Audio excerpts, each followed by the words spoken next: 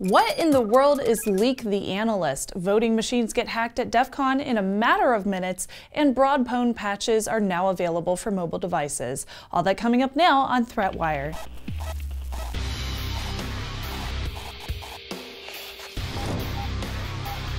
Greetings, I'm Shannon Morse and this is ThreatWire for August 1st, 2017. This is your summary of the threats to our security, privacy, and internet freedom. I obviously lost my voice during DEF CON, so if I sound kind of weird, that would be why. Real quick, make sure to subscribe and hit the notification bell button to see the show as soon as it goes live, and check out patreon.com slash threatwire to see how you can support the show. It's a really great way to support all of your favorite podcasts, and now on to the news. A senior security analyst analyst at Mandiant, a security firm based in Virginia and owned by FireEye, had a breach of his personal accounts by anonymous hackers. The information leaked via Pastebin and Mega Uploads included the analyst's login details, contacts, and correspondence from emails, internal company documents, and screenshots from his Windows Find My Device geolocation tool. The attacker also broke into the analyst's LinkedIn page. Since the breach was to personal data for a high-ranking employee of a security firm, the attacker hacker also claimed they had gained access deep into the company's internal networks since 2016. Now, at this time, no data has been leaked from Mandiant servers, and Mandiant claims that their company servers have not been breached.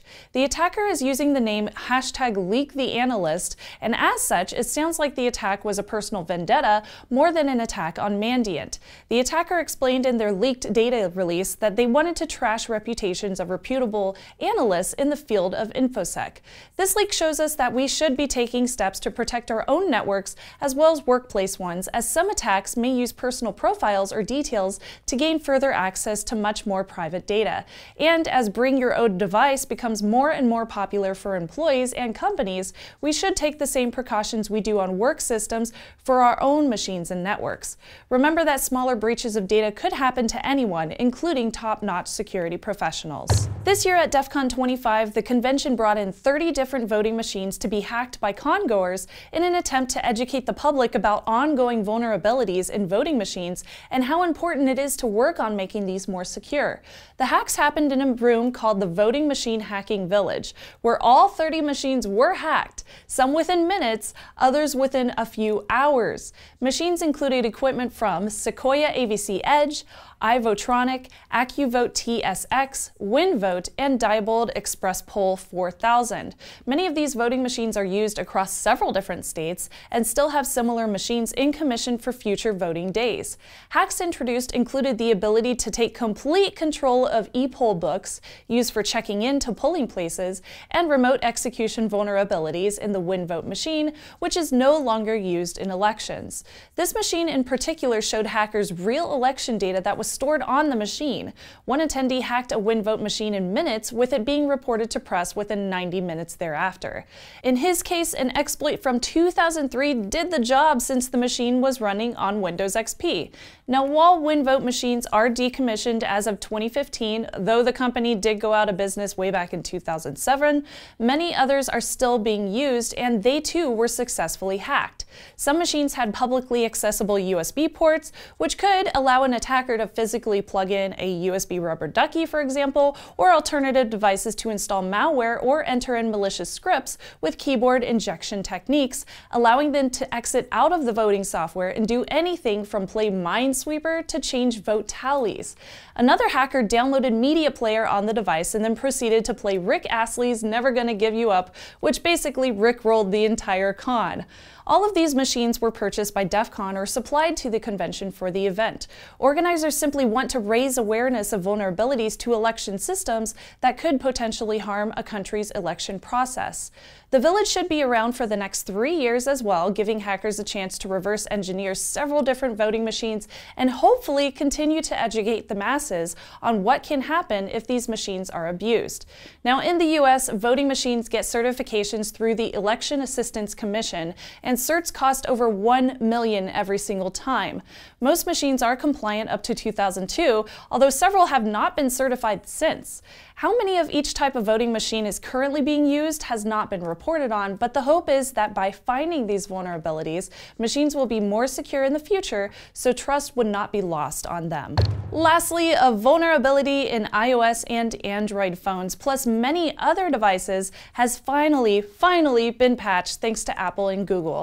Dubbed BroadPwn or BroadOwn, the vulnerability would allow an attacker to gain root access and use remote code execution technique attacks on devices in their proximity as long as Wi-Fi was being used on the phone in some form factor. BroadPwn sends malicious packets over the waves to Broadcom chips that are vulnerable and it rewrites their firmware. Worse yet, the attack is self-replicating, meaning that each device would replicate the attack and infect even more devices. This means that an attacker could remotely own a phone without ever needing to touch it. BroadPwn affects any device using Broadcom's BCM43 family of wireless chips, and the bug was first reported by researcher Nitay Artenstein before being publicly reported on during Hacker Summer Camp, aka Black Hat, B-Sides, and DEF CON earlier last week. Patches have been released by Google as of earlier in July and Apple as of July 19th which just so happens to be a few days before everybody started flying to Vegas. The bug affected Android 5.0.2 and up on any device using that Broadcom chipset, and Apple iPhones 5 through 7, plus some iPads and iPods. Affected phones worldwide are over 1 billion, which is more than 80% of the total marketplace. Victims would not need to connect to the BroadPwn device, they would just need to have Wi-Fi on for them to get infected. Furthermore, using location services that require require Wi-Fi would also make you susceptible to attack. Now, while some carriers may not release patches in a timely fashion, if an update is available for your phone, make sure you install it. And if your device is susceptible to the BroadPwn attack and no update is currently available, turning off Wi-Fi and location services will help. Thank you again to all of the wonderful people who contribute to patreon.com slash threatwire. And again, my apologies for my voice. I know it is really weird today and hopefully it will recover throughout the week. And I also wanted to say a huge thank you to all of you that said hello during DEF CON. It was really awesome meeting you all and it totally keeps me motivated whenever I get to meet you in person. So please, if you ever see me at a convention, make sure you say hello because I love meeting each and every one of you. We're all passionate about the same thing, so it's great to get to know everyone everybody. If you can spare a bit of change, it all helps keep ThreatWire completely independent and ad-free. We now have an audio-only RSS feed, extra content, and early access for our patrons. We might even feature your adorable fur baby in an upcoming episode. And remember, patrons, to share your favorite security-focused news stories in the Patrons Community tab to get featured in the show.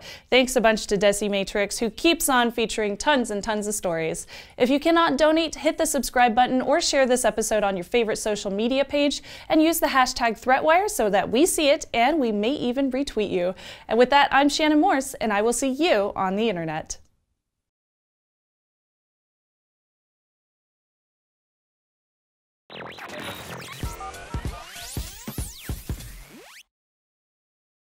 I can't talk. Oh, I can't talk. Oh, my voice is so dead. It's so sad right now.